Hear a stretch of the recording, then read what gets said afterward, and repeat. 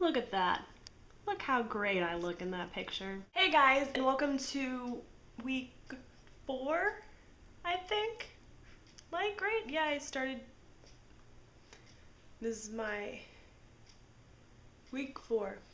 Yeah, we'll go with week four. So if you're subscribed to my main channel, you remember back in August my family went and got pictures taken and this weekend we finally got them in and we bought frames for them and so yeah, here they are. It's me, my sister and me and me again. Uh, since I'm a senior in university, we were like, oh, we'll do, you know, seniors photos for you. And then here we have the three kids and there we have the whole family. Aren't we just a bunch of good looking people? So what's up guys? Good week, good week for me. I lost another three pounds.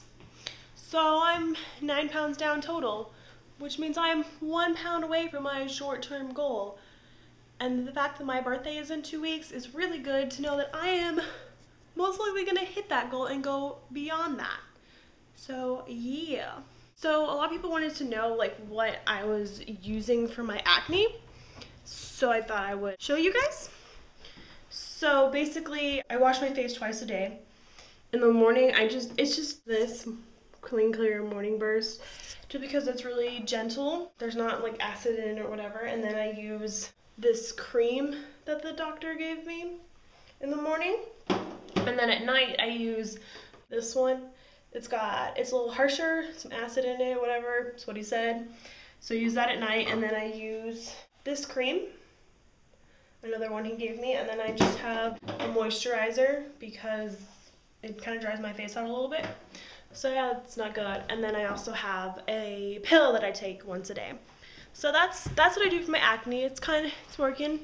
Face is getting a lot clearer, so so that's a good thing. Yeah. And as far as the workout goes, I go about every other day. I do a lot of ellipticals. Sometimes I do the Stairmaster. Sometimes I do some weights. I'm not really like big into the weights because I, I do want to strengthen my muscles, but I don't want to make them like bam huge. So yeah. And then I like to do this thing. Uh, I I like to call it a modified crunch. I don't know if there's actually a name for it or whatever, but basically I get one of those balance balls and a medicine ball and I sit down on the medicine ball, not the medicine ball, the balance ball, and I hold the um, medicine ball on my chest, and I basically just do crunches, um, just because you know the balance ball gets you off the floor, so it gives you a bigger bigger range of mo- range of motion. Why can I not talk today? And then the medicine ball just provides resistance to it, so it helps, you know, strengthen it. I started off with a two pound. A, whew, I really words are just not my strong point today. Anyway, I started off with a two pound medicine ball, then a four, and now I'm using the six. And let me tell you, I can really feel it. I was telling one of my friends that I, the greatest thing about for me working out is that I just, I love feeling it. I love feeling sore and just to know like I am working those muscles and obviously it's yielding results because I'm down now nine pounds. But um, yeah, exercise high yay. It's just it's just like on Legally Blonde, you know.